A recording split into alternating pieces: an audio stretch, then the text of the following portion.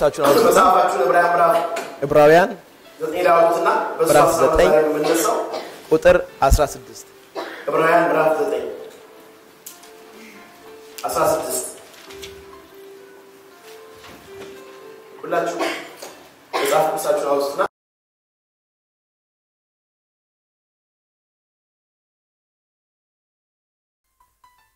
ከ15 ጀምሮ አነበዋለሁ። ስለዚህም የፊተኛው ኪዳን ሲጸና ሕግን የተላለፉት የሚቤዥ ሞት ስለሆነ የተጠሩት የዘላለም ርስት የተስፋ ቃል እንዲወርሱ እርሱ የአዲስ ኪዳን መካከለኛ ነው። ኑዛዜ ያለ እንደሆነ የተናዛዡን ሞት ማርዳት የግድ ነው። ሰው ሲሞት ኑዛዜው ይጸናል። ተናዛዡ በሕይወት ሲኖር ግን ከቶ አይጠቅምም። ስለዚህ ፊተኛው ኪዳን እንኳን ያለ ደም አልተመረቀም ይላል። ክብር ለኢየሱስ ይሁን። እንግዲህ እዚህ ክፍል ጋር ስንመለከት ቁጥር 15 ላይ ስለዚህ የፊተኛው ኪዳን ሕግ ሲጸና የተላለፉት የሚቤዥበት ስለሆነ የተጠሩት የዘላለም ርስት የተስፋ ቃል እንዲወርሱ እርሱ የአዲስ ኪዳን መካከለኛ ነው። ኑዛዜን ባለፈው ሳምንት እንደተነጋገር ነው እንግዲህ ኑዛዜ ሲኖር ሰው የሚወርሰው ነገር እንዳለ ነገር ግን ያ የሚወርሰው ነገር ሰውየው መሞት እንዳለበት ሰውየው ከሞተ ኑዛዜ እንደሚጸና ተመልክተናል። ተፈጥሯዊ በሆነው ኑዛዜ ውስጥ ሰዎች ሲናዘዙ የተናዘዙት ነገር ለሰዎቹ የሚጸናላቸው ያ ሰው ከሞተ በኋላ ነው የሚለውን ሀሳብ ተመልክተናል። ስለዚህ መንፈሳዊ ደግሞ መጽሐፍ ስለ ኑዛዜ የሚናገረው ከተፈጥሯዊ ነገር ጋር ተመሳሳይ የሆነ ነገር ግን መንፈሳዊ ትርጉም ያለው ነገር ነው። ስለዚህ ምንድነው ኢየሱስ ክርስቶስ በመሞቱ አሁን ስለ ሞቱ ቅድም ስንዘምር ነበረው የወደደን በሞቱ ለእኛ ያደረገልን ነገር ምንድን ነው? ኢየሱስ በመሞቱ ፍቅሩን የተገለጠው መጽሐፍ ቅዱስ ሲናገር ነፍሱን ለወዳጆቹ አሳልፈው ከመስጠት ከዚህ የበለጠ ምን የለም ይላል። ምን የለም ይላል። ስለዚህ ሞቱ ምኑን ያሳየለኛ? ፍቅሩን የገለጠልን። ትንሣኤው የኢየሱስን ኃይል ነው የሰጠን፣ ኃይሉን ያየንበት። ሞቱ ግን ያሳየ ምኑን ነው? ፍቅሩን ነው። ስለዚህ ጌታ ወደኛል ስንል ምንድነው? ማንም ሰው ሊሰጥ የማይችለውን ነገር ነፍሱን አሳልፎ ምን ብሎናል? ሰጥቶናል። ቅድም ደሙን እያሰብን ከሆነ አምነን ከሆነ የወሰድነው በደሙ አማካኝነት ደሙን ሲያፈስ ያ ደሙ ውስጥ ምናለ ነፍስ አለ። ስለዚህ መጽሐፍ እንደሚናገረው እንግዲህ ነፍሱን ለወዳጆቹ አሳልፎ ከመስጠት ከዚህ የበለጠ ፍቅር የለም ይላል። ስለዚህ አሁን ጌታ ይወደኛል አይወደኝ የሚባል ጥያቄ የለም። ፍቅሩን በምን አረጋግጧል? ራሱ ነፍሱን አሳልፎ በመስጠት ይሄ ጠላት የሚያመጣባቸው እግዚአብሔርን አያወደኝም፣ እኔ አያስበኝም፣ ጥሎኛል፣ ረስቶኛል። ኢየሱስ ፍቅሩን ሲገልጥ እንደ ሰው አይደለም፣ ነፍሱን ሰጥቶ ወዶኛል። ጠላት ምንም ሊለኝ አይችልም። አይደለ? የእግዚአብሔር ፍቅር የተረጋገጠው የጸናው በምንድን ነው? ነፍሱን ስለ እኔ አሳልፎ በመስጠቱ ነው። ክብር ለኢየሱስ ይሁን። ማንም ወዳጅ የተባለ እንኳን ሮሜ ላይ ነፍሱን ስለ ወዳጆቹ አይሰጥም። ስለ ደግ ሰው የሚሞት በጭንቅ ይገኝ ይሆናል። ነገር ግን ስለ ክፉ ሰው ስለ ኃጢአተኛ የሚሞት የለም ይላል። ኢየሱስ እንግዲህ በሞቱ ምኑን ገለጠ? ፍቅሩን እንደሚወደን we are sure ፍቅሩ ምን ያለ ነው? የጸና ነው ማለት ነው። ስለዚህ በሱ ሞት የሆነልን የተደረገልን ነገር ትንሣኤው ደግሞ ምንድን ያስገኘልን? ኃይል ነው። ክብር ለኢየሱስ ይሁን። የህይወት ኃይል ተገኘ። ኃጢአት ተሸነፈ፣ ሞት ተሸነፈ። ክብር ለኢየሱስ ይሁን። ስለዚህ በሞቱ ፍቅሩ፣ በትንሣኤው ደግሞ ኃይሉ ተገልጦልናል። ኢየሱስ ክርስቶስ ጌታ ነው። ስለዚህ በዚህ ሀሳብ ስንመለከት ይሄ መጽናት፣ ኑዛዜ መጽናት ሲባል ባለፈው እንዳልኳችሁ ሁላችንም የምናውቀው ተፈጥሯዊ ኑዛዜ አለ። ሰው ኑዛዜ ሲጸናለት ይወርሳል። በምድራዊ ነገር ቤት ይወርሳል፣ መሬት ይወርሳል። specially በብሉይ ኪዳን እግዚአብሔር አምላክ በዛኛው ኪዳን ለእስራኤላውያን የሚነግራቸው ነገር ነበር። ስለምንድን ነው? ርስት አወርሳችኋለሁ። ያ ርስት ከነዓን ምድር ነው። በጣም በምድሪቷ ውስጥ ያለው ነገር ለሚታዘዙ ቃሉን ለሰሙ ሁሉ ያቺ ምድር ገብተው እንደሚወርሱና በምድሪቷ ላይ ያለውን በረከት ያለውን ማር በምድሪቷ ላይ ያለውን መልካም ነገር ወተት እንዲህ እንዲህ ነገር ነው ሰው ሳይደክም የሚበላበት እግዚአብሔር ራሱ በእጄ ብሎ ሰው የማይለፋበት እግዚአብሔር ራሱ ያዘጋጀው የእግዚአብሔር ጸጋ ያለበት የእግዚአብሔር provision የሆነ ምድር እንዳለ ለእስራኤላውያን ይነግራቸው ነበር። ስለዚህ በዛኛው ኪዳን ውስጥ ተስፋቸው ምንድን ነበር? ከነዓን የሚባል የሚወረስ ቦታ ነበር። እዚህ ጋር ሲናገር ምንድን እንደሚለው ዕብራውያን ላይ እነዛ ብሉይ ኪዳን ያሉት የእግዚአብሔር ሰዎች የእግዚአብሔር ሕዝቦች አንድ ተስፋ ነበራቸው። እግዚአብሔር ርስት እያለ እንዲወርሱ ይሄን ከጠበቁ በዚህ መንገድ ከሄዳችሁ እንዲህ አይነት ርስት እሰጣችኋለሁ፣ ያ ርስት ደግሞ እንዲህ ነው ብሎ እንደውም ካሌብና ኢያሱን ወደዛ ርስት ልኮ ርስቲቷን ሰልለው በርስት ውስጥ ያለውን ባለጠግነት መልካም ነገር አይተው መጥተው ለእስራኤል ልጆች ተናገሩ። ሌሎቹ ደግሞ ርስቱን ሊያዩ አልቻሉ። የመገለጥ መንፈስ ያስፈልጋል ያን የርስቱን ባለጠግነት ለማየት። ስለዚህ ርስቱን ሳይሆን የተመለከቱት በርስቱ ውስጥ ያለውን challenge ችግር ተመልክተው ፈጽሞ ስለዛ የተናገሩት ነገር የተለየ ነገር ነው።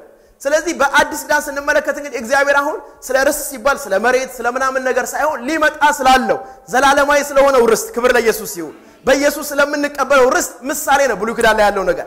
ስለዚህ በዚህ ሀሳቡ ስንመለከት አዲስ ኪዳን ላይ መጥቶ እንግዲህ ስለ ውርስ ሲናገር ቅድም እንዳልኳችሁ ተፈጥሯዊ ውርስ እንዳለ፣ የመሬት ውርስ እንዳለ፣ የገንዘብ ውርስ እንዳለ፣ የወርቅ ውርስ እንዳለ፣ ምድራዊ ውርስ እንዳለ፣ መንፈሳዊ ነገር ደግሞ እንዲህ ውርስ እንዳለ መጽሐፍ ይናገራል። ስለዚህ ያ ውርስ ደግሞ በኑዛዜ ነው። ስለዚህ መጽሐፍ ቅዱስ ኑዛዜው ምን ብሏል ይላል? ጸንቷል። ምን ስለሆነ? ተናዛዡ ምን ስለሆነ? ምን ስለሆነ? ስለሞተ። ስለዚህ በሞቱ ኢየሱስ የሰጠን ነገር አለ ማለት ነው። ያወረሰን ነገር አለ ማለት ነው። አሁን ጸንቶልኛል ያለ ሰው በጣም እርግጠኛ መሆን አለበት። ምንድን ነው የጸናልን? ምንድን የወረስ ነው? ለምን ኑዛዜ ከውርስ ጋር የተያዘ ነገር ነው። ይህን ቃል አነብና ወደሚቀጥለው ሀሳብ እንሄዳለን። ቆላሲያስ ምዕራፍ 1 ከ12 እስከ 13 ከደስታም ጋር በሁሉ ለመጽናት ለመታገስ እንደ ክብሩ ጉልበት መጠን በኃይል ሁሉ እየበረታችሁ በቅዱሳንም ርስት በብርሃን እንድንካፈል ያበቃንን አብን እያመሰገናችሁ በነገር ሁሉ ደስ ልታሰኙ ለጌታ እንደሚገባ ትመላለሱ ዘንድ እንለምናለን። እርሱ ከጨለማ ስልጣን አዳነን፣ ቤዛነትንም እርሱንም የኃጢአትን ስርየት ወዳገኘንበት ወደ ፍቅሩ ልጅ መንግስት ምን አደረገን? አፈለሰን። ከላይ ምን ይላል? በቅዱሳንም ርስት በብርሃን እንድንካፈል ምን ያለን? ያበቃንን አብን ምን እያደረጋችሁ እያመሰገናችሁ። ክብር ለኢየሱስ ይሁን።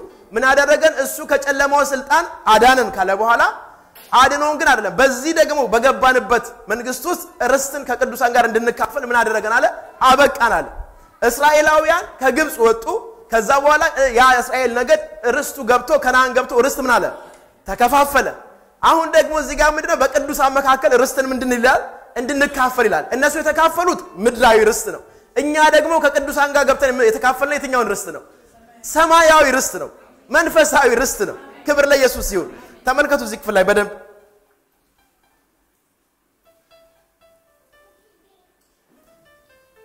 ኤፌሶን ምዕራፍ 1 ቁጥር 11 ላይ የምትጽፉ ሰዎች ጻፉት። በጣም important ሀሳቦች ናቸው እነዚህ።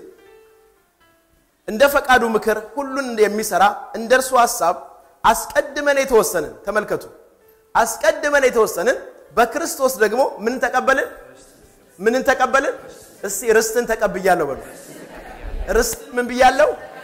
ርስትን ምን ብያለሁ? ተቀብያለሁ። በክርስቶስ ያመን ምን ተቀበልን? ተመልከቱ እንግዲህ ኑዛዜ ሲኖር ውርስ መውረስ አለ አይደለ? ስለዚህ ያ ውርስ ደግሞ ርስት ይባላል። ስለዚህ በክርስቶስ ያመኑ ምን ብለዋል ማለት ነው? ምን ብለናል? ርስትን ተቀብለናል። ኢየሱስ ጌታ ነው። እስቲ ርስትን ተቀብያለሁ በሉ። ርስትን ተቀብያለሁ። ይኸውም በክርስቶስ አስቀድመን ተስፋ ያደረግን እኛ ለክብሩ ምስጋና እንሆን ዘንድ ነው። እናንተም ደግሞ የእውነትን ቃል ይኸውም የመዳናችን ወንጌል ሰምታችሁ ደግሞም በክርስቶስ አምናችሁ በተስፋው መንፈስ በመንፈስ ቅዱስ ታተማችሁ። እርሱም የምናችን መያዣ ነው። የርስታችን ምንድን ነው? መያዣ ነው፣ ቀብድ ነው። ይሄን እንደተቀበለን የሚመሰክርልን ማን ነው? የእግዚአብሔር ልጆች እንደሆንን ያ መንፈስ ራሱ ምን ያደርግልናል? ክብር ለኢየሱስ ይሁን። መንፈስ ቅዱስ የርስታችን ምንድን ነው? መያዣ ነው። ይሄ የሚታይ ነገር ሰይጣን የት አለ ምናምን ሊል ይችላል። የሚያረጋግጥልኝ ግን መንፈስ ቅዱስ አለ። ርስት እንደተቀበልኩ የማውቀው በምንድን ነው? በመንፈስ ቅዱስ ነው። የርስታችን ምንድን ነው አለ? መያዣ ነው። በኢየሱስ ርስትን ምን? ተቀበልን። ያመኑት ምንን ተቀብለዋል? በዚህ እርግጠኛ ሆነ ወገኖች ምን እንዳላችሁ ላመኑት በክርስቶስ ርስት ተቀብለናል። ኢየሱስ ጌታ ነው። ይሄን እርግጠኛ ደግሞ እንዲያደርግልን ምን ተሰጠን? የመንፈሱን መያዣውን ሰጠናል። ስለዚህ አሁን ይህን ሲያወራ ሰው እርግጠኛ የሚያደርገው ሰዎች የነገሩት ነገር አይደለም፣ information አይደለም፣ የሚያነቃቃ ንግግር አይደለም፣ የሚያነቃቃ ስብከት አይደለም። ይሄ truth ነው። ክብር ለኢየሱስ ይሁን። በማን ተነገረ? የእግዚአብሔር መንፈስ እርግጠኛ አድርጎኛል። ምን ተቀብያለሁ? በክርስቶስ ርስት ተቀብያለሁ። ከዛ እርሱም የርስታችን መያዣ ነው። ለእግዚአብሔር ያለውን ሁሉ እስኪዋጅ ድረስ ይህም ለክብሩ ምስጋና ይሆናል። ተመልከቱ፣ ለእግዚአብሔር ያለውን ሁሉ ምን እስኪል ድረስ? እስኪዋጅ ድረስ። ኢየሱስ ክርስቶስ ከፍሎ ምን አድርጓል? ገዝቶናል። ስለዚህ ያ ነገር ሁሉ ምን እስኪል ድረስ? እስኪወረስ ድረስ። እግዚአብሔር የሰጠን ነገር ሙሉ በሙሉ እስኪገለጥ ድረስ።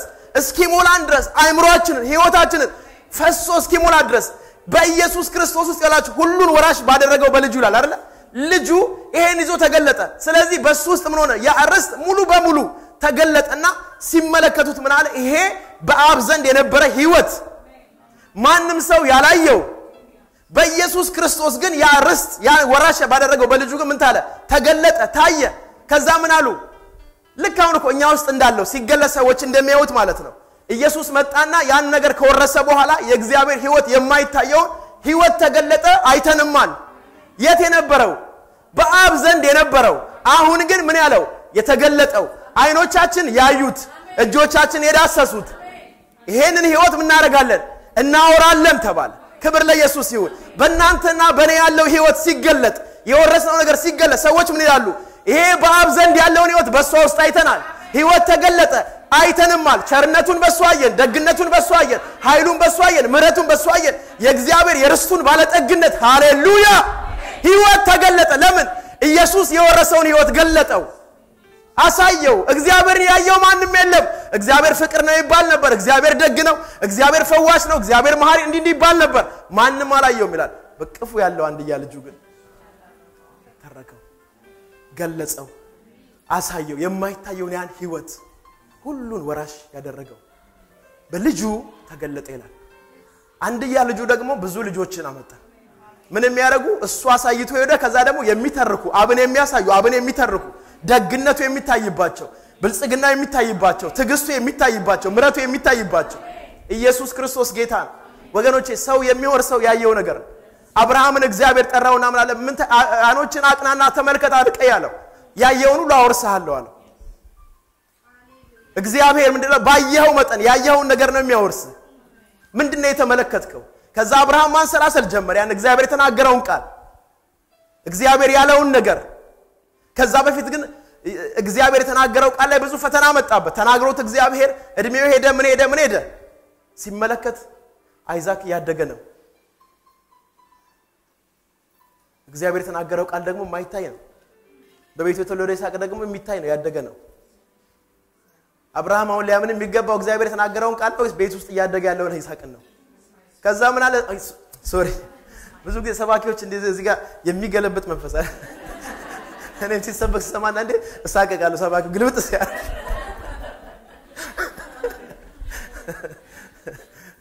ጌታ ይባርክ እንዲያስታውሱኝ እስማኤልን። ስለዚህ እስማኤል ቤት ውስጥ እያደገ እያደገ እያደገ ሲያየው ይሄ ምን ሊያደርገኝ ነው አለ። ምን ሊያደርገኝ ነው? ሊወርሰኝ ነው። እግዚአብሔር ደግሞ የተናገረው ሌላ ቃል አለ። የሚወርሰው ይስሐቅ። ክብር ለኢየሱስ ይሁን። አንዳንድ ጊዜ ሁላችሁ በህይወታችን ውስጥ እግዚአብሔር ያን የሚያክል ህይወት deposit አድርጎ የምናየው እንትና ነው እስማኤልን ነው። ስለዚህ በቃ ይሄ ነገር እኮ ሊወርሰኝ ነው፣ ይሄ ኃጢአት ሊወርሰኝ ነው፣ በቃ ክርስትና ልወጣ ነው፣ በሽታ እንዲህ ሊያደርገኝ ነው። ያ እስማኤል ይታያል። ያኛው ግን የአይን መከፈት ያስፈልጋል፣ እግዚአብሔርን ርስት ለማየት። ክብር ለኢየሱስ ይሁን። የልቦናችሁ አይኖች በርተው የርስቱን ክብር ምን? ባለጠግነት። ለምን? ይሄኛው ርስት በዚህ አይን የሚታይ አይደለም፣ በልቦና አይን የሚታይ ነው። እስማኤል ግን በዚህ አይን የሚታይ ነው። challenge በዚህ አይን የሚታይ ነው። ጠዋት ስትወጣ ስትገባ የምታየው ነው challenge። በውስጠኛው አይን ግን የእግዚአብሔር ርስት ካየ እሱን አታወራም። የምወርሰው በውስጤ ያለው እግዚአብሔር ለእኔ የተናገረው እኔ ማለት ይህ አይደለም፣ ሁኔታ አይደለም፣ situation አይደለም፣ የማየው ነገር አይደለም። የእግዚአብሔር ቃል ልቦናዬ በርቶ already ርስት ተካፍያለሁ። የርስቱ ባለጠግነት እኔ ውስጥ አለ። የቸርነቱ ባለጠግነት እኔ ውስጥ አለ። የደግነቱ ባለጠግነት እኔ ውስጥ አለ። አብርሃም አትፍራ፣ ይሄ አይወርስህም። የምታየው ከጉልበት የወጣው እሱ ነው የሚወርስህ። እኔ የተናገርኩት እሱ ነው የሚወርስህ። ስለዚህ ምን ታያለህ? በህይወት ውስጥ የምታየው ሁል ጊዜ በሚታየው ሁኔታ አካባቢ ሲቹዌሽን፣ ስጋን፣ ሁኔታውን ነው ወይስ ደግሞ እግዚአብሔር በቃሉ ስለ አንተ ማንነት የተናገረው ነው ሁል ቀን የምታየው? ሰው ወገኖች፣ የሚወርሰው ቀኑን ሙሉ የሚያስበው የሚናገረው የሚያወራው ይሄ ነገር ነው። ሰው ሌላ ነገር እያወራ እግዚአብሔር ይወርሰኛል ማለት ዘበት ነው። ነገር ግን ስትወጣ ቃሉን ሰክተህ ስትገባ እግዚአብሔር የሚልህን የምትናገረው ሰው በልቡ እንዳሰበ እንደዚያ ሆኖ ያለ መጽሐፍ የማታስበው አይወርስህም። ስጋዊ ነገር እያሰብን መንፈሳዊ ነገር እንዲወርሰን አንጠብቅ ወገኖች። የምድር ነገር 24 ሰቨን እያሰብን የእግዚአብሔር ነገር እንዲገለጥብን አናስብ። ለምን? የምታስበው ነው የሚወርስህ። የምናንሰላስለው የምናወራው የምንናገረው ስለ ራሳችን እግዚአብሔር በቃሉ ስለተናገረን እሱን ከሆነ የምናሰባስበው ይወርሰናል። ሰው የሚወረሰው ወገኖች በሚያየው ነገር፣ በሚናገረው ነገር፣ በሚያስበው ነገር ህይወቱ ይወረሳል። ስታገኙት የሚነግራችሁ ያለ። ስለዚህ በዚህ ክፍል ስንመለከት ይሄ ለእግዚአብሔር ያለውን እስኪዋጅ ድረስ እግዚአብሔር በክርስቶስ ኢየሱስ purchase ያደረገው የገዛው የእሱ ያደረገው ያንን ማንነት ሙሉ በሙሉ በዛ ህይወት እስኪገለጥ ክርስቶስ ያን ህይወት ወረሰ በልጅነት። ያን ህይወት ገለጠው ያን ህይወት አሳየው። በዚህ ክፍል ላይ ተመልከቱ። የክብር አባት ከቁጥር 17 ኤፌሶን 1 17 የክብር አባት የጌታችን የኢየሱስ ክርስቶስ አምላክ እርሱን በማወቅ ተመልከቱ። የጥበብና የመገለጥ መንፈስ እንዲሰጣችሁ ምን አደርጋለሁ? እለምናለሁ። ይህም የልባችሁ አይኖች ምን ሲሉ? ሲበሩ። የመጥራቱ ተስፋ ምን እንዲሆን? በቅዱሳንም ዘንድ ያለው ምን? የርስት ክብር ምን? ምን እንዲሆን? ምን ለምንል ከሁሉ የሚበልጠው የኃይሉ ታላቅነት ምን እንዲሆን? ታውቁ ዘንድ ነው። የልቦናችሁ አይኖች ምን ሲያደርጉ? ሲበሩ። የውስጠኛው አይን ሲበራ። የተቀበላችሁት ርስት አለ። የወረስነው ርስት አለ። ቅድም ሁላችንም ጸንቶልኛል ብለናል። ኢየሱስ ስለ ሞት የጸናልን ነገር አለ። ኑዛዜው ጸንቶ ሲባል ምን ማለት ነው? ጸንቶልኛል ማለት እኮ ወርሽ ያለው ማለት ነው። የወረስኩት ነገር አለ። መውረስ ማለት የዛ ነገር ባለቤት መሆን ማለት ነው። አንድ ሰው ተናዞ ለሰውየው ከሞተ በኋላ ከዛ በኋላ ያለው ነገር ባለቤትነቱ የማን ነው? የወራሹ ነው። ስለዚህ ወራሹ ምን ማድረግ ይችላል? ቤት ከሆነ ቤቱን መጠቀም ይችላል። ገንዘብ ከሆነ ገንዘቡን መጠቀም ይችላል። መሬት ከሆነ መሬቱን ማረስ ይችላል። ለምን ያ ሰውዬ ስለሞተ አሁን ባለቤቱ ማን ነው? ማን ነው? ወራሹ ነው። ክብር ለኢየሱስ ይሁን። እኛን ደግሞ መጽሐፍ ቅዱስ ምን ብሎች? ምን ብሎናል? ወራሾች ብሎናል። ክብር ለኢየሱስ ይሁን። ልጆች ከሆነ ምኖች ነን? ወራሾች ነን። የሚወርሰው ልጅ ነው። አስማኤል አይወርስም። ለመውረስ ልጅ መሆን ያስፈልጋል። ክብር ለኢየሱስ ይሁን። የእግዚአብሔር ልጆች ነን እንጂ ባሪያዎች አይደለንም አለ ጳውሎስ። ልጆች ከሆናችሁ ደግሞ ምኖች ናችሁ? ምኖች ናችሁ? የእግዚአብሔር ወራሽ ነን ሮሜ ምዕራፍ 8 ላይ ልጆች ከሆንን ደግሞ ምኖች ነን? ምኖች ነን? እስቲ ወራሽ ነኝ በሉ። ልጅ ነኝና ወራሾኛለሁ። የእግዚአብሔር የሆነው ነገር ሁሉ አውርሶኛል። የእግዚአብሔር የሆነው ነገር ሁሉ የእኔ ሆኗል። በልጅነት ውርሴ ጸንቶልኛል። ልጅ ስለሆንክ ውርሴ ጸንቶልኛል ተመልከቱ። ውርሱ የሚጸናው ለማን ነው? ለልጅ ነው። ልጆች ከሆነ ምኖች ነን? እንደዛ ነው የሚለው። በተፈጥሮ እንኳን ልጅ ነው የሚወርሰው አባቱን ልጅ መሆኑ ካልተረጋገጠ አይወርስም። መጽሐፍ ቅዱስ ላይም ሲናገር ለመውረስ ልጅ መሆን ያስፈልጋል። ያንን ደግሞ በእርሱ በማመን ቅድም ያነበብነው ክፍል ኤፌሶን አምስት ላይ በእርሱ በማመን ርስትን ምናልን ተቀበልን። በማ በማመን? በኢየሱስ በማመን። ወገኖች በማመናችሁ። አሁን ይሄ የልቦናችን አይን ስላልበራ የሚገርም ነገር ተቀብሎ የወረሰ ህዝብ ምንም እንደሌለው። በማመኔ ግን ርስት ተቀብያለሁ ያውቃሉ። ርስት ጸንቶልኛል። እርግጠኛ የሆነ የጸና እውነት ነው ይሄ። ስለዚህ ያመነ ሰው ሁሉ በክርስቶስ ምን ተቀብሏል ማለት ነው? ርስትን ተቀብለናል። ይሄ ርስት ምንድን ነው እስራኤላውያን ወደ ከነአን ሲገቡ ርስትን እግዚአብሔር ቃል ገብቶላቸው ተስፋ ገብቶላቸው ነበር። ይገርማል ብሉይ ኪዳን በመንፈስ ስታነቡት ከአዲስ ኪዳን ጋር በጣም ፍሎ የሚያደርግ ነው። እግዚአብሔር እዛ ምድር ላይ ተፈጥሯዊ በሆነ ነገር ሁሉ ለሰዎች ሊያደርግ ያለውን ሊያወርስ ያለውን ነገር ተፈጥሯዊ በሆነ ነገር ለእስራኤላውያኖች የተናገራቸው ነገሮች ሁሉ በአዲስ ኪዳን መንፈሳዊ ሆነው ለእኛ ሆነውልን። እዛ ጋር በህግ ነበር ውርሱ እዚህ ጋር ግን በእምነቱ። ክብር ለኢየሱስ ይሁን። ህግን በመጠበቅ በመታዘዝ ርስት ወራሽ ሆነዋል በአዲስ ኪዳን ግን ኢየሱስን በማመን አማኝ ሁላ ምን ሆኗል? የርስት ባለቤት ሆኗል። የእግዚአብሔር የሆነ ነገር ሁሉ ምን ብሏል? ተቀብሏል። ስለዚህ እስራኤላውያን ወደዛ ምድር ከገቡ በኋላ የሚገርመው ዘዳግም ምዕራፍ ስምንት ላይ ሄዳችሁ ብታነቡ እግዚአብሔር ስለ እስራኤላውያን ስለምኑ ነገራቸው? መሰረት ስለ ርስቱ ክብር ባለጠግነት። የምትገቡበት ምድር እንደዚህ ነው። ከተራራዋ መዳብ የሚማስበት 24 ሰበን የሚፈስ ነገር ያለበት እግዚአብሔር ራሱ ያዘጋጀው የሰው ስራ የሌለው ክብር ለኢየሱስ ይሁን። ይህ እኮ ግሬስ እኮ ነው አይገርም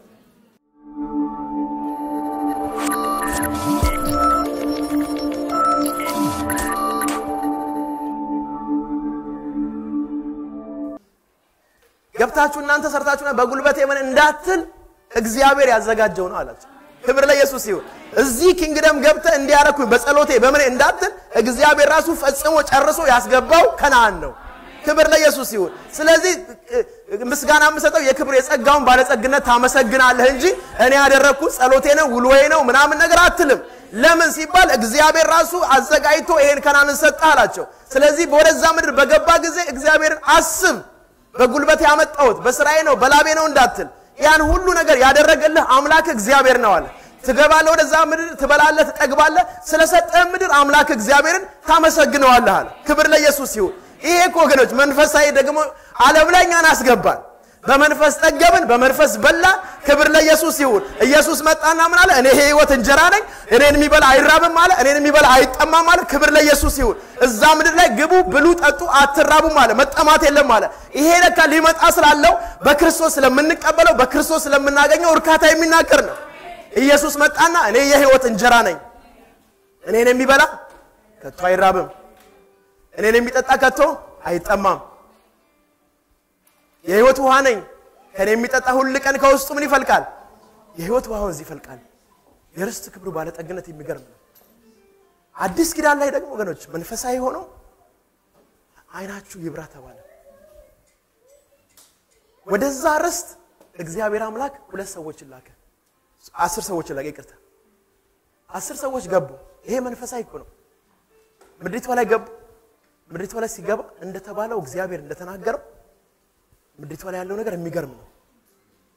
ስለዚህ ከምድሪቷ ያን ነገር ሰልለው የመጡ ሰዎች ይዘው መጥተው ሲናገሩ ምድሪቷ ላይ ያለው ነገር confirm አድርገዋል። በጣም በረከት እንዳለባት ፍሬዋ እንደዚህ ነው እንደዚህ ነው። ነገር ግን ምድሪቷ ላይ እንደዚህ አይነት ነገሮች አሉ፣ እንደዚህ አይነት challenge ኦች አሉ ብለው አስሩ ስምንቱ ሰላዮች ተናገሩ። ኢያሱና ካሌብ ግን በጣም የሚገርመው ይሄ እዚህ ክፍል እግዚአብሔር የጥበብና የምን መንፈስ ይስጣችሁ ይላል የመገለጥ መንፈስ እንዲሰጣችሁ ምን አደርጋለሁ? ጸልያለሁ። ይሄ ለክርስቲያኖች እኮ ምናችሁ እንድታዩ የርስትን ክብር ባለጠግነት እንድታዩ። ኢያሱና ካሌብ ምድሪቷ ላይ ገብተው ያዩበት እይታ የተለየ ነው። ከዛ እግዚአብሔር ምን አላቸው? ኢያሱና ካሌብ ልዩ መንፈስ አላቸዋል። ስለዚህም ወደ ገቡባት ምድር አገባቸዋለሁ ምድሪቷንም አወርሳቸዋለሁ አለ። ኢየሱስ ጌታ ነው። ወደዛ ወደ ገቡበት ምድር ገቡ። እግዚአብሔር ደግሞ መውረስ የሚገባቸው ነገር እንዲወርሱ አደረጋቸው።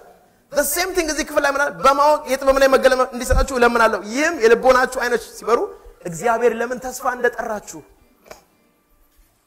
ከዛ የርስቱም ክብር ባለጠግነት ምን እንደሆነ ታውቁ ዘንድ ርስት በአዲስ ኪዳን የራሱ የእግዚአብሔር ሕይወት ነው። ቦታ አይደለም። የሆነ የምንኖር ሰው ተፈጥሯዊ ነገር አይደለም። ነገር ግን የምንኖር ሰው ራሱ የእግዚአብሔር ሕይወት ነው። መዝሙር 16 ላይ ቁጥር 5 ላይ እንደዚህ ይላል፣ እግዚአብሔር የርስቴ እድል ፈንታዬ ነው አለ።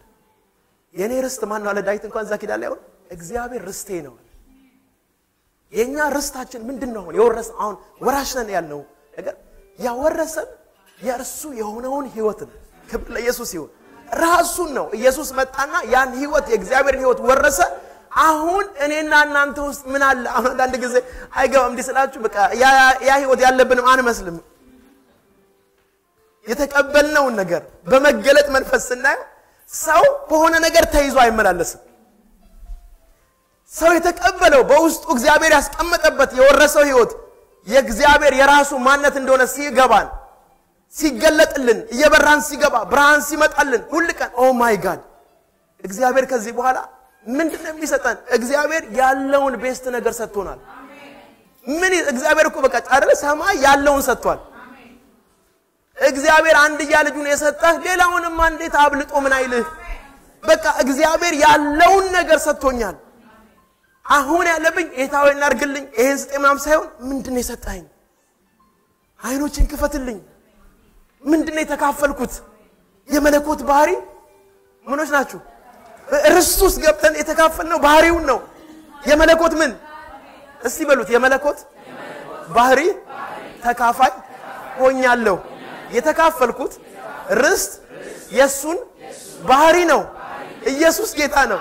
ይሄ ነው እያሰብኩት ወገኖች። የተካፈልነው አንዱ አንዱ ብልጽግና የርስቱ ብልጽግና የትዕግስቱ ባለጠግነት ሮሜ ምዕራፍ ሁለት ላይ የሚለው የትዕግስቱን ባለጠግነት ይለዋል። እግዚአብሔር በትዕግስቱ ምን ያህል ባለጠጋ ነው ለእናንተ አልነግራችሁም። ለምን ብዙ ጊዜ ታግሷቸዋል። ብዙ ጊዜ ታግሶናል። እዚህ ርስቱ ሰው ሲወርስ ይሄ ትዕግስት ነው የኔ ትዕግስት እግዚአብሔር የሰጠኝ አሁን ብልጭ ይልብኛል የምትለው ትዕግስት አይደለም። አንዳንድ ሰው እኔ ብልጭ ካለብኝ ይላል። አሁን ብልጭ የሚልበት ትዕግስት አይደለም። ባለጠጋ ሰውን እስከ ጥግ መታገስ የምችልበት ትዕግስት ይህን ባለጠግነት ባህሬ ተካፍያለሁ። እየገባችሁ ነው ወገኖች? ስለዚህ እኔ ኧረ እኔ አሁንስ ትዕግስት ያለ ከከሌ መታገስ አልቻልኩም አትልም። እግዚአብሔር የትዕግስቱን ባለጠግነት ያካፍለዋል። በትዕግስቱ ባለጠጋ የዚህ ርስት ባለጠግነት ሲባል ሁልጊዜ ርስት ሲባል የሆነ ነገር ነው የምንጠብቀው። የርስቱ ባለጠግነት ግን የእግዚአብሔር የባህሪ ባለጠግነት ነው። የእግዚአብሔር የምህረት ባለጠግነት ነው። አሁን ይህንን ሳውቅ ኦ እግዚአብሔር የተካፈልኩት ይህን ምህረት ነው። እኔ መማር የምችለው እስከዚህ ጥግ ድረስ ነው። ጴጥሮስ መጣና ወንድም የሚበድለኝ ስንት ጊዜ ይቅር ልበል? ስንት ጊዜ ልማር አለው። ሰባት ጊዜ ስለው no no no አሁን አሁን አሁን የሚሰጥ ምህረት እስከ ጥግ ድረስ ነው አለ። ሰባ ጊዜ ሰባት አለ። ምንድነው? ወሰን የለውም። እግዚአብሔር በምህረቱ ምን ስለሆነ ባለጠጋ ስለሆነ የምህረቱን ባለጠግነት ተካፍያለሁ። ስለዚህ እኔ አሁን የማውቀው የማስበው የምናገረው የእኔ ምህረት የማን አይነት ምህረት ነው? የእግዚአብሔር አይነት ምህረት ተካፍያለሁ። እኔ አንዴ ከታ እንትን ካልኩኝ የምለው ነገር የለም። አሁን ንግግር ይቀየራል። በአእምሯችሁ መታደስ ተለወጡ። ነፍሳችሁ ውስጥ ያለው ድሮ ብልጭ የሚልባችሁ ሰው አሁን ግን ብልጭ የሚልባ አይደለም። ትዕግስት ያለቀ የሚባል አይደለም። የማያልቅ ትዕግስት ተጋፍያለሁ። እውነት ነው፣ የሰው ትዕግስት ያልቃል። ይሄ የተካፈልነው ትዕግስት ግን የእኛ ትዕግስት አይደለም። የማን ትዕግስት ነው? የእግዚአብሔር የትዕግስቱ ባለጠግነት የእግዚአብሔርን ባለጠግነት ተካፈለ ሲባል እኔ ውስጥ ምን አለ ስትሉ ወገኖች ያለውን ነገር በመገለጥ መንፈስ እግዚአብሔር ይግለጥልን። ይሄ ነው የመገለጥ መንፈስ እንዲሰጣችኋል። ብዙ ነገር ልንሰማ እንችላለን። ተደርጎልሃል፣ አልቆልሃል፣ እኮ እንደ information ሰምተነዋል። ግን እግዚአብሔር መገለጥ ያምጣልን። እኛ ውስጥ ህይወቱ የሚገለጠው ያ ነገር ሲገለጥልን፣ ያልተገለጠልን ነገር አይገለጥብንም። የሚገለጥብን የተገለጠልን እውነት ነው። ስለዚህ እግዚአብሔር ሆይ ስለዚህ ነገር እንዲገባኝ እንዴት ነው ይሄ ምሕረት እኔ ውስጥ አለ ይሄ ምሕረት እንዴት ነው አክቲቬት የሚሆነው? እንዴት ነው በዚህ ምሕረት መኖር የምችለው? እንዴት ነው እንዲህ አይነቱ ትዕግስት የኔ የሚያልቀው ትዕግስት በአንተ ትዕግስት የሚለወጠው እንዴት ነው? አርለኔ ውስጥ ለምን ጸንቶልኛል? በክርስቶስ ሞት ኑዛዜው ጸንቷል። ያ ማለት ባለቤት ሆኛል ማለት ባለቤት ሆናችኋል። ክብር ለኢየሱስ ሲሆን ወገኖች ይሄን እውነት ይሄን እውነት ሰዎች በዚህ እውነት ሲበራላቸው ያን ነገር ለኛ information እያለን እንዴ እንዴት ነው ይሄ ነገር ቢገባቸው? በዛ ትዕግስት ሲገለጡ በዛ ምሕረት ሲገለጡ በዛ በእግዚአብሔር ሕይወት ሲገለጡ እንመለከታለን። ለምን? ይሄ መገለጥ ስለሚያስፈልገው። ለኤፌሶን ክርስቲያኖች የልቦናችሁ አይን ሲበራ የልቦናችሁ አይን ሲበራ እግዚአብሔር ያዘጋጀው የሰጣችሁ በቅዱሳን ዘንድ ያለው የርስት ምን የርስት ክብር ባለጠግነት። ስለዚህ ይሄ ርስት ምን አለው ማለት ነው? ክብር አለው። ይሄ ርስት ምን አለው? ባለጠግነት አለው። ስለዚህ ያ የት ነው ያለው? ያ የት ነው ያለው? ኧረ ብዙዎቻችሁ እኔ ውስጥ የርስት ክብር ባለጠግነቱ የት ነው ያለው? እኔ ውስጥ። ክብር ለኢየሱስ ይሁን። በማን ዘንድ ነው የሚለው? በሰማይ ነው የሚለው አይደል? በቅዱሳን ዘንድ ያለውን የክብር ተስፋ ያለው ክርስቶስ በእናንተ ውስጥ ያለው ክርስቶስ ክብር ለኢየሱስ ይሁን። የክብር መዝገብ አለ። እሱ የኖረበትን እሱ የተመላለሰበትን ምን ላል ሊያወርሰን ይሄ ሲገባን ነው እግዚአብሔር መስቀሉ ጳውሎስ ከንቱ ሆኖ እንዳይቀር ያለው ምንድን ነው? ኢየሱስ የሞተበት ዓላማ ከንቱ ሆኖ የማይቀረው መቼ ነው? አንተ እሱ የሞተበትን ሕይወት ተቀብለህ ስትገለጽ ዘሩን ሲያይ ደስ ይለዋል ይላል። ክብር ለኢየሱስ ይሁን አይደለ? በድካሙም ዘሩን ያህል ዘሩንም ሲያይ ደግሞ ደስ ይለዋል ይላል። ስለዚህ እሱ የሞተበትን እሱ የደከመበትን ነፍሱ የደከመበትን ነገር አንተ ገብቶ ስትገለጥበት የሰጠህን ነገር ኧረ እባክህ ጌታ ስጠኝ ይሄን ነገር ስጠኝ oh my God! እስቲ ያስቡት ኢየሱስ በሞቱ ፍቅርን ሰጥቶን ጌታ ሆይ ፍቅርን ስጠኝ ብንለው ይሄ ፍቅር በመንፈስ ቅዱስ በልባችሁም ብሏል ፈሷል። ፍቅሩን ሰጠን ምን አይነት ፍቅር? የፍቅሩን ባለጠግነት ኤፌሶ ምዕራፍ 3 ላይ እንደዛ ይላል። በአብ ፊት ስለ እናንተ እንበረከካለሁ። ከፍታውና ጥልቀቱ ስፋቱና ርዝመቱ ምን ከማለት? ከመታወቅ ያለፈ ምን? የክርስቶስን ምን? ፍቅር ለማወቅ ምን እንድትሉ? እንድትበረቱ። ስለዚህ ጸልያለዋል ይሄ ምንድነው? በቃ የእግዝ- የእግዚአብሔር ፍቅር እስቲ ያስቡት እንዴት ነው የሚወደኝ የሚለው ነገር በዚህ አእምሮ ምንም አንለው ነው። የማናስበው ከመታሰብ ምን ያለ ነው? ያለፈ ከአእምሮ ያለፈ። እግዚአብሔር የሚወድሽ ልንገራችሁ አውጅባችኋለሁ እናገርባችኋለሁ። እግዚአብሔር እናንተን የወደዳችሁ ፍቅር ከፍታው ስፋቱ ርዝመቱ ጥልቀቱ ከመታወቅ ያለፈ ነው ከዚህ ፍቅር አታመልጡም ከዚህ ፍቅር አትወጡም። በዚህ ፍቅር ትኖራላችሁ። የወደዳችሁ በስድስት ወር ፍቅር አይደለም በዘላለም ፍቅር ወድጀሻለሁ አለ። እግዚአብሔር የወደደች በዘላለም ፍቅር ነው። የወደዳቸውን እስከ መጨረሻው ወደዳቸው ይላል። የሰው ፍቅር አይደለም ጊዜያዊ ፍቅር የሚለዋወጥ ፍቅር አይደለም። ይሄ ፍቅር ከመታወቅ ያለፈ ነው። ስደክም የሚወድ ፍቅር ነው። ስታዝን የሚወድ ፍቅር ነው። ስትሳሳት የሚወድ ፍቅር ነው። ብትበድለውም የሚወድ ፍቅር ነው። ይሄን ፍቅር ታውቅ ዘንድ እሱን ስታውቅ እንደ ተወደደ ልጅ ትኖራለህ እንደ ተወደደ ልጅ ትወጣለህ ወገኖቹ ይላል እንደ ተወደደ ልጆች ትኖሩ ዘንድ ይላል። እንደሚጠላ የሆነ ነገር ስታደርጉ እግዚአብሔር complete ጸሎታችሁን የማይሰማ የሆነ ነገር የሚመጣባችሁ ጥሩ ነገር ስታደርጉ ደግሞ እግዚአብሔር ይሄ የሰው ፍቅር ነው። የእግዚአብሔር ፍቅር መጀመሪያም ሲወድህ በአንተ condition አልወደደህ ጠላት እያለህ ደካማ እያለህ አይደል? ኃጢአተኞች ሳለን ወደደ ነው የሚለው። ስለዚህ የእግዚአብሔር ፍቅር conditional አይደለም። እግዚአብሔር አንዴ ወድኋል እስከ መጨረሻ ወድኋል የምንወደው እርሱ ስለወደደን ነው። አይደለ? እርሱ አስቀድሞ ምን ብሎናል? ምን ብሎናል? ምን ብሎናል? ማን አስቀድሞ የወደደው? ስለዚህ እኛ የምንወደው ምን ስላደረገን ነው እሱ? አይደለ? ለምን ወደድከኝ አልልህም? በእርግጥ ወደኛል። ስለወደድከኝ እኔ እወድሃለሁ። ከኔ ፍቅር ተነስቼ አይደለም እግዚአብሔር ከወደደኝ ከትልቅ ፍቅሩ የተነሳ ነው የምወደው። ክብር ለኢየሱስ ይሁን። አሁንም በእናንተ ፍቅር አይደለም እርሱ በሰጣችሁ ፍቅር ነው እሱን የምትወዱት። ኢየሱስ ጌታ ነው። ኮንፊደንሳችን ድፍረታችን ምንድነው አለ? የእግዚአብሔር ፍቅር ነው። ስለዚህ ይሄ አንዱ ብልጽግና እኔ ጋር ያለው ፍቅር ልለማመድ እግዚአብሔር የሚፈልገው ፍቅር የኔም ፍቅር አይደለም። የሚወዷችሁን ብትወዱ? ምንድን ነው የሚለው ምን ዋጋ አላችሁ? የሚወዷችሁንማ? ይህንንማ ማንም እዛም ያሉት ያደርጉታል።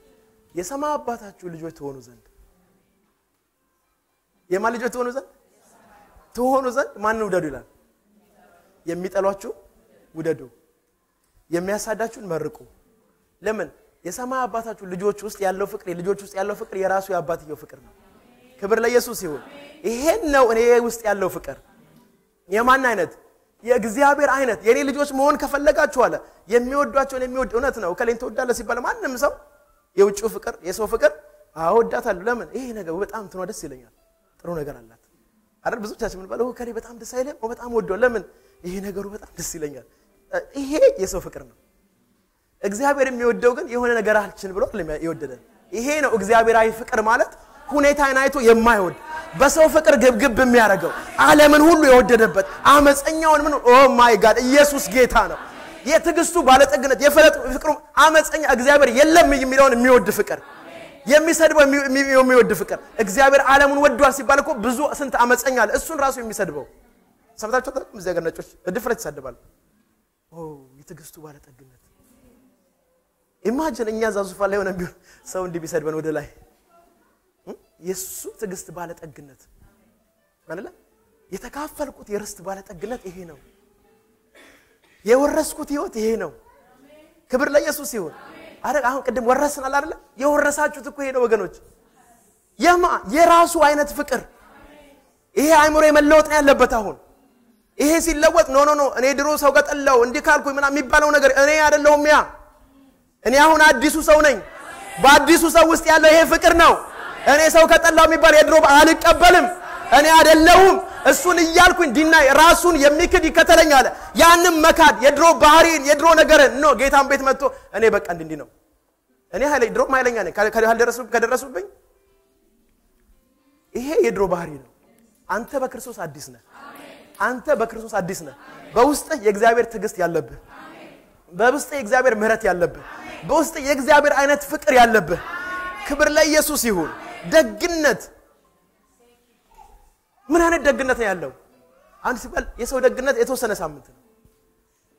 እግዚአብሔር ግን በደግነቱም ባለጠጋ ነው አይደለም?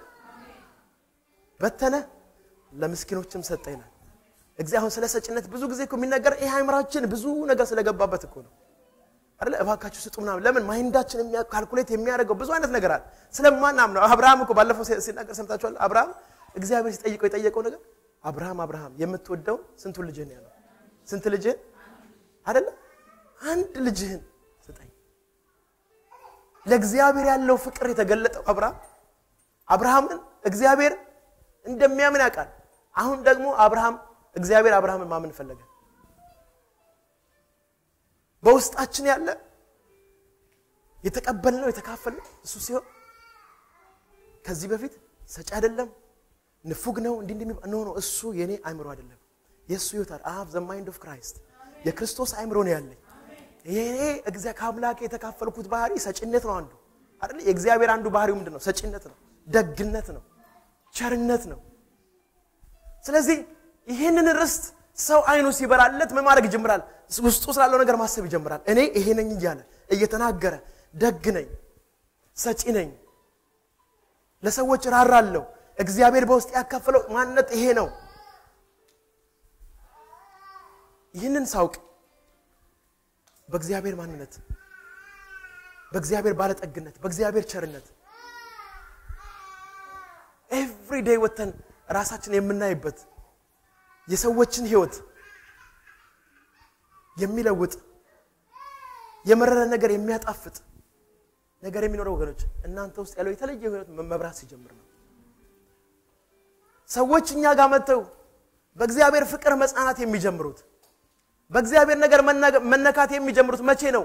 አንድ ነገር ገብቶ ወገኖች፣ ከዚህ በኋላ በዛ ህይወት ላይ focus ስናደርግ ህይወቱ መግለጥ ይጀምራል።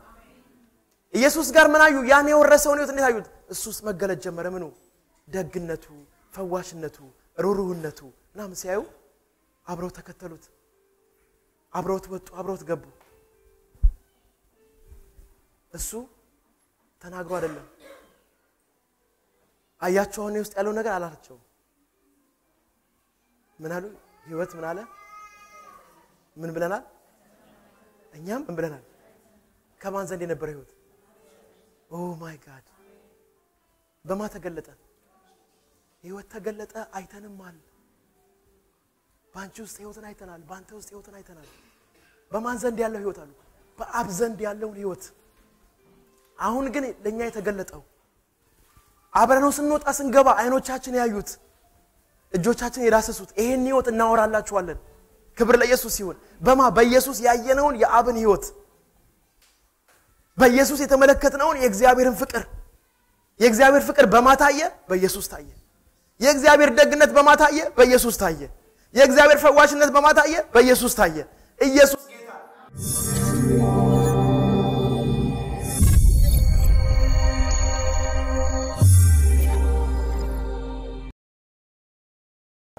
ሌላው ምንድን ነው? እኔ ውስጥ ያለው እናንተ ውስጥ ያለው የኃይሉ ታላቅነት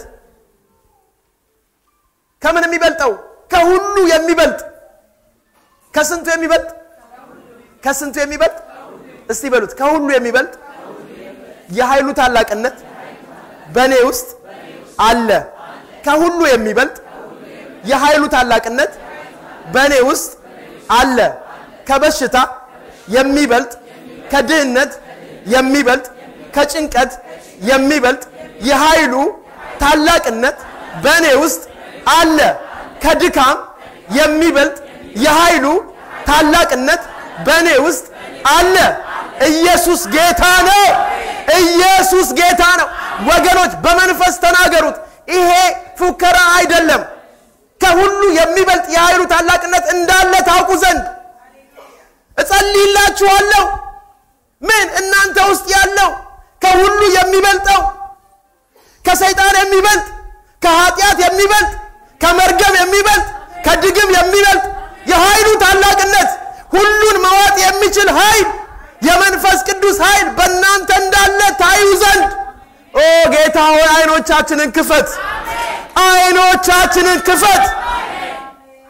ኢየሱስን ያስነሳው ከሙታን ያስነሳው የኃይሉ ታላቅነት የሚበልጠው ያሉ ታላቅነት በእናንተ አለ። ለሚሞተው ሰውነታችሁ አለ ህይወትን ይሰጠዋል። በማን ያለው? በእኔ ኢየሱስን ከሙታን ያስነሳው አለ። የትንሣኤው መንፈስ በእናንተ ሃሌሉያ አለ በእኔ ውስጥ ምንም ያደርግ ለሚሞት ነገር ሁሉ ህይወት የሚሰጥ ትልቅ የተባለው ሰውን ሁሉ ጸጥ ያደረገ ሞትን የሞትን ጣር አጥፍቶ ያስነሳ በምድር ላይ ጀግና የተባለው ሁሉ የሚይዝ ሞት ሊይዘው አልቻለም። ለምን? እግዚአብሔር የተጠቀመው ኃይሉ ሰማይና ምድር ሲፈጥር አይደለም። የኃይሉ ታላቅነት ኢየሱስን ከሙታን ሲያስነሳው ከዛ አለ? ያ መንፈስ በማ ውስጥ ነው? ላይ በእናንተ ውስጥ ነው። ይሄ እግዚአብሔር አምላክ ያብራልን። ይሄን ኃይል ተሸክሞ በድካም ከመመላለስ በኃጢአት በአዲክሽን ለምን አዲክሽን የሚበጥስ መንፈስ ይህን የሚሰብር መንፈስ ቀንበርን እስራትን የሚበጥስ በነፃነት የሚያኖር መንፈስ የት ነው ያለው? እኔ ውስጥ አለ። ከኃጢአት ከሞት በላይ የሚሰራ የህይወት መንፈስ ህግ ይለዋል። ሮሜ ሰባት ላይ ስምንት ላይ ከኃጢአትና ከሞት ህግ በላይ የሆነ ያ መንፈስ ይሄ ማንም የነገራችሁ ሳይሆን የእግዚአብሔር ቃል ያላችሁ ይሄን ነገር አምነዋለሁ። ሲቹዌሽን አላዩ እስማኤልን አትመልከቱ። እስማኤል እያያችሁ ይሄ ሊወርሰኝ ነው አትበሉ። እግዚአብሔር የተናገረው እሱ አይደለም። እግዚአብሔር በቃሉ የሚላችሁ ነው ነው እሱ አይወርሳችሁም። በእናንተ ውስጥ ያለው ኢየሱስን ያስነሳው ልጄን ያስነሳ ከሙታን ያስነሳ ያ መንፈስ በአንቺ ውስጥ አለ። ክብር ለኢየሱስ ይሁን፣ ክብር ለኢየሱስ ይሁን። ይኸውላችሁ ሰው ሲያውቅ ነው መጠቀም የሚችለው። ሐዋርያት ሥራ ላይ ሄዱን አርባ ዓመት ሽባ የነበረ ሰው ሲፈወስ ምን አሉ? ይሄን በምን ኃይል አደረጋችሁት አሏቸው።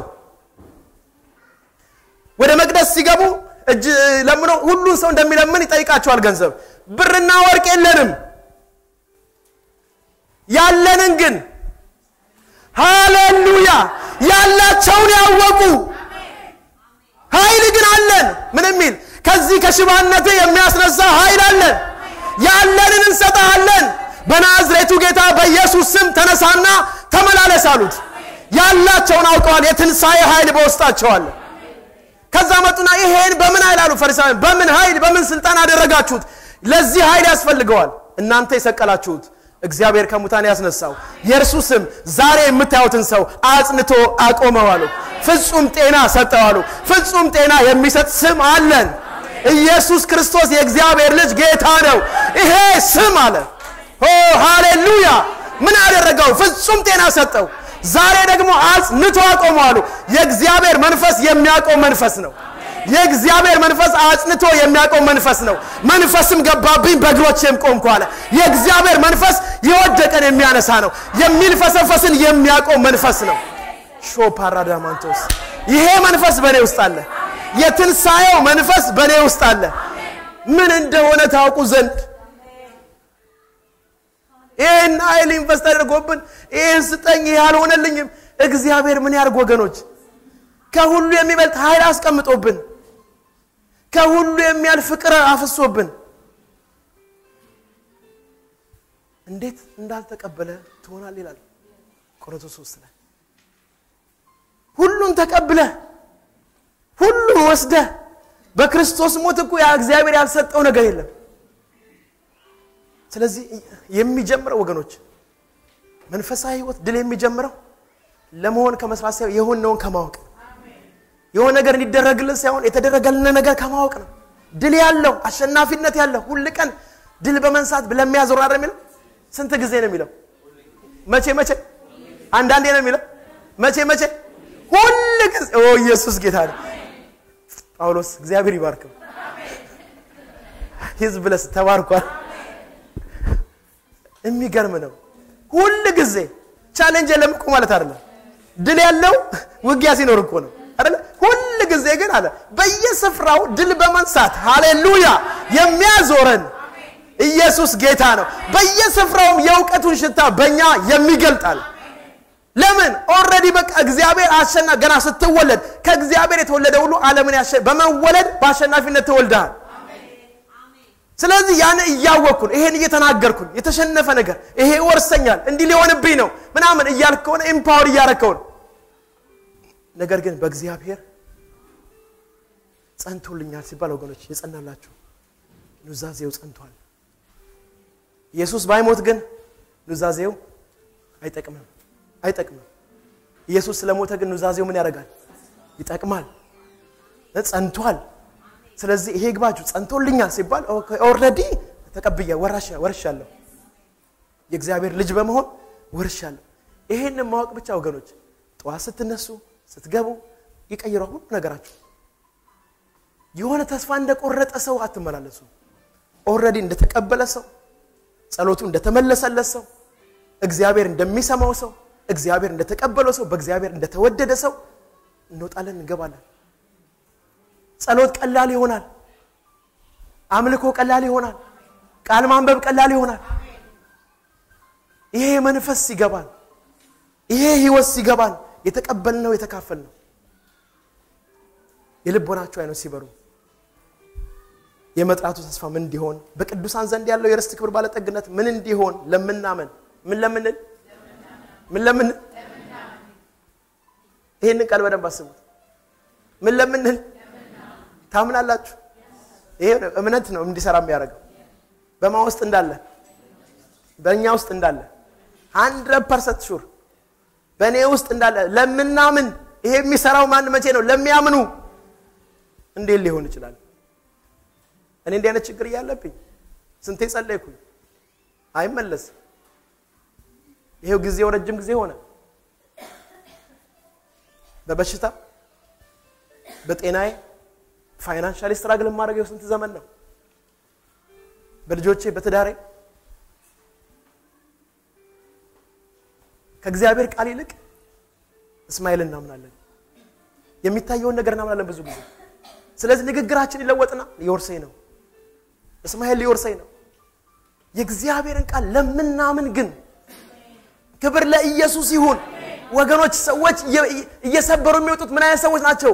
ሁኔታን የሚያምነዋል ምንም ነገር ውስጥ የሆኑ ነው። ይሄን አላምንም፣ እግዚአብሔር ያለውን ነው የማምነው። የኔ ዴስቲኒ ክብር ነው። እግዚአብሔር ለውርደት አልጠራኝም። የኔ ህይወት ኤቭሪዴ ከክብር ወደ ክብር ምን ያደርጋል? ይጨምራል። ይሄን የማምነው ለሁኔታቸው የሚናገሩ እምነት ማለት ያ ነው።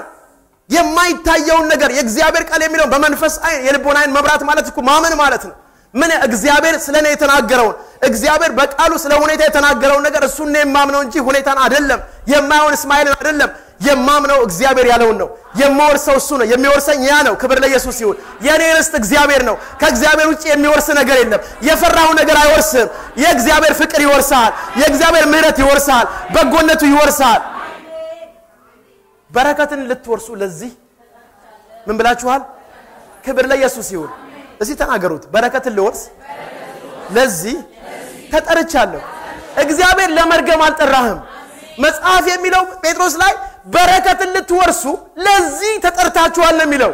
እግዚአብሔር የጠራ ሊያጎሳቁልህ አይደለም፣ ሊያሰቃይህ አይደለም፣ ያንተን ክፉ ነገር እያየ በዚህ ውስጥ ሊያስተምር አይደለም። እግዚአብሔር በረከትን ልትወርሱ ምን ብላችኋል? ተጠርታችኋል። ስለዚህ እናገራል። no no no እኔ ማምነው ሁኔታን አይደለም። እግዚአብሔር ወደ ጠራ የጠራኝ ከጨለማ ወደሚደነቅ ብርሃን ያመጣኝ በጎነቱ እንዳይ ፍቅሩ እንድካፈል በነገር ሁሉ shine እንዳደርግ ነገሮች መልካም እንዲሆኑልኝ። እግዚአብሔር መልካም ነው። ከመልካምነት ውጭ እሱ ጋር የለም። እግዚአብሔር ብርሃን ነው። በእሱ ዘንድ ጨለማ የለም። ሌላ ነገር አላውቅም። እግዚአብሔር መልካም እንደሆነ ለእኔ መልካምነቱን አካፍሎኛል። እኔ እንኳን ክፉ ሆኜ ለልጆቼ መልካም ነገር ነው የማስበው። የሰማይ አባቴማ ሙሉ በሙሉ መልካም ለእኔ እንዴት አብልጦ አያስብ። ስለዚህ ነገን ሳስብ ለእኔ መልካም ነው። ለምን? እግዚአብሔር መልካም ነው አይደለም? እንዘምር። እግዚአብሔር ለእኔ ምንድን ነው? መልካም ነው። ለእናንተ መልካም በማድረግ ኤርምያስ 32 ላይ ደስ ይለኛል። ልንገራችሁ፣ ሲቹዌሽን ተለውጦ አይደለም ድል ያለው ነገር ግን ሲቹዌሽኑ ላይ የአማኝ ሰዎች እየተናገሩበት የእምነት ሰዎች እየተና ምንም ነገር ይሁን አሁን የምታዩት ነገር አለ። አሬ እኔ ጉዳይ እኮ እንደዚህ ነው፣ ይሄ ከሌላ ይሄ ሰውዬ እኮ እንዲህ ነው፣ ችግሬ እኮ እንዲህ ነው የምትሉት ነገር እግዚአብሔር ከዛ በላይ ትልቅ ነው። ይሄ ሰው የምትሉት ሰው አለ ከዛ ሰውዬ በላይ እሱ በእግዚአብሔር ፊት እንዲህ ነው። የነገስታትን ልብ የሚይዝ ነገሮችን መለወጥ የሚችል የሰውን አይምሮ መቀየር የሚችል እግዚአብሔር በዙፋኑ አለ። አይኖቼ ችግሮች አይደለም። እነዛ ገብተው እኮ አይተዋል፣ giant አይተዋል፣ ችግር አይተዋል፣ ግን አልካዱም። ይሄ reality መካድ እምነት እኮ መካድ አይደለም። ነገር ግን ምንድነው ከ giant ኡ በላይ እግዚአብሔርን አይተዋል። ከ giant ኡ በላይ ቃሉን አምነዋል። ክብር ለኢየሱስ ይሁን። ዛሬም የምናምነው በህይወታችን ላይ ያለውን ጃይንት ሳይሆን ትልቁ ጃይንት የሆነ የእግዚአብሔር ተስፋ ቃል አለኝ። ክብር ለኢየሱስ ይሁን። እሱን ስናገር እሱ ይወርሳል። ክብር ለኢየሱስ ይሁን። እግዚአብሔር የተናገረው ይስሐቅ መጣ። ክብር ለኢየሱስ ይሁን። ምን የሚል እስማኤል ላይ የሚስቅ ክብር ለኢየሱስ ይሁን። ርስታችን ወገኖች በእግዚአብሔር እንደ ጸና እርግጠኛ ስንሆን እዚህ ጋር እንደሚናገረው ለምናመን የሚያምኑ ሰዎች ይለወጣል። እውነቴን የምላቸው፣ አመለካከታቸው ይለወጣል፣ አነጋገራቸው ይለወጣል። ምን ለሚሉ የሚያምኑ ሰዎች ዛሬ እንኳን ይህን ቃል ሰምታችሁ ይሄ መገለጥ የገባው ሰው ያን ነገር ማመን ይጀምራል። ከዛ መናገር የምትጀምሩት ሁኔታችሁን አይደለም፣ ምንድን ነው? ከዛ ሰርች ታደርጋላችሁ አይደለ? ፍለጋ የሌለው የክርስቶስን ባለጠግነት ለማወቅ ትበረቱ ዘንድ ጳውሎስ ራሱ ለማወቅ በረታ ዘንድ የተቀበልኩት ምንድን ነው? ያለኝ ምንድን ነው? ብቃቴ ምንድን ነው? ምን ማድረግ እችላለሁ? እግዚአብሔርን ያየው ምንድን ነው? ቃሉን ሲያጠና ኢየሱስ ጌታ ነው። ከዛ ንግግራችሁ ይቀየራል፣ ሀሳባችሁ ይቀየራል፣ ሲቹዌሽኑ ይቀየራል። እግዚአብሔር አምላክ በየትኛውም ሁኔታ ውስጥ ሁኔታን ከመቀየር አልጀመረም፣ ሰውን ከመቀየር ነው የጀመረው። ክብር ለኢየሱስ ይሁን። ለምን ሁኔታ የተበላሸው መጀመሪያም ከሰው ማንነት የተነሳ ነው? ምድር ከአንተ የተነሳ ተባለ። እንደዛው ደግሞ ሰው ሲባረክ አካባቢው ይቀየራል፣ ሁኔታው ይቀየራል። የሰው ማንነት እኛ ደግሞ ማንነታችን ተባርኳል? ክብረ ከክፋት ሁሉ እየመለሰ ይባርከን ዘንድ ልጁን ሰደደ ይላል። ስለዚህ we are blessed በዛ ማንነት ተባርከናል። በክርስቶስ አዲስ ፍጥረት ሆናል። እኛ ከተለወጥን ሁኔታ ይለወጣል። እግዚአብሔር የተባረከ ይሁን። እግዚአብሔር በቃሉ ህይወታችሁን፣ ማንነታችሁን፣ አሳሰባችሁን ይለውጣል። ከዛ ከፊታችሁ ያለው ነገር ከነገራችሁ በታች ከእናንተ በታች እንደሆነ እግዚአብሔር ያሳያችኋል። ሌላ የመጨረሻውን ቃል አነብና ጨርሳለሁ። ሐዋርያ ሥራ ምዕራፍ 26 ነገር ግን ተነሳና በእግር ቁም፣ ስለዚህ እኔም ባየህበት ነገር ለአንተም በምታይበት ነገር አገልጋይና ምስክር ትሆን ዘንድ ልሾምህ ታይቼአለሁ አለ። ጳውሎስ እግዚአብሔር ነው ጳውሎስ የሚለው። የኃጢአት ስሬት በእኔም በማመን በተቀደሱት መካከል በማን በማ በማመን ነው የሚለው? በተቀደሱት መካከል ርስትን ምን ሊሉ ዘንድ ከጨለማ ወደ ብርሃን ከሰይጣንም ስልጣን ወደ እግዚአብሔር ዘውር እንዲሉ ዓይናቸውን ትከፍት ዘንድ ከሕዝብና ወደ እነርሱ ከምልክህ ከአሕዛብ ምን አደርግሃለሁ? አድንሃለሁ። ተመልከት፣ እግዚአብሔር ለጳውሎስ ተገልጦለት ምን አለው?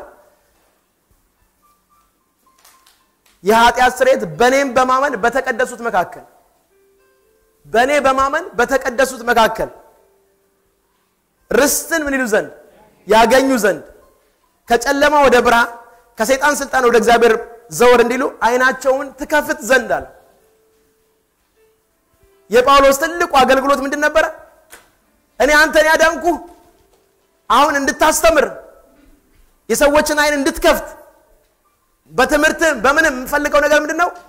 እነዚህ ሰዎች ከጨለማ ስልጣን ወደ ብርሃን እንደመጡ ከዛ ደግሞ በሚያምኑት በእኔ በማመን ርስትን እንዳገኙ የሰዎችን ዓይን ትከፍት ዘንድ ነው ስለዚህ ጳውሎስ ይሄ ነው ግራውንዱ። በየቸርቹ እየሄደ የሚጸልየውን ጸሎት ብትመለከቱ ዓይንን የመክፈት ጸሎት ነው።